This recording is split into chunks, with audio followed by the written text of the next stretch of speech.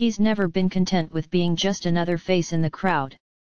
And Cody Simpson was feeling extra philosophical while out for lunch in West Hollywood on Monday, spotted holding 1950 sociology book The Lonely Crowd.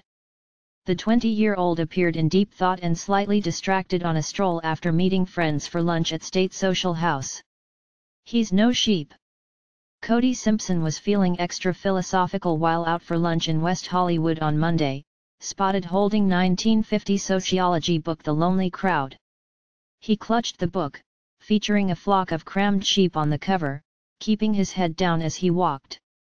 Related articles previous. 1 next. Love's Young Dream. Songstress Alli Simpson packs on the PDA. Guess who?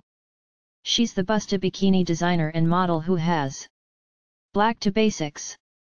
Samantha Jade's form-fitting halter neck. He's dreaming of a white Christmas, Cody Simpson gets into. Share this article.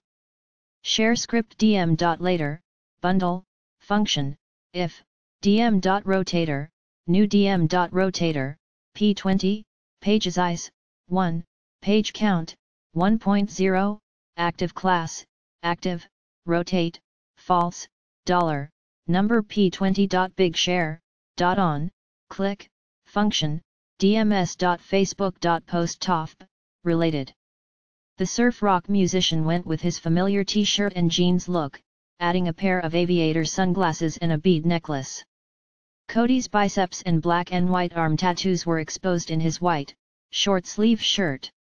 Despite Los Angeles' impending winter, he maintained his beachy look, complete with his shaggy blonde locks. Feeling social? The 20-year-old appeared in deep thought and slightly distracted on a stroll after meeting friends for lunch at State Social House.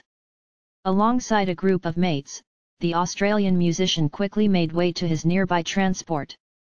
Cody's love for literature is well documented, with fans even creating an Instagram account called Cody's Book Club, to document his favorites.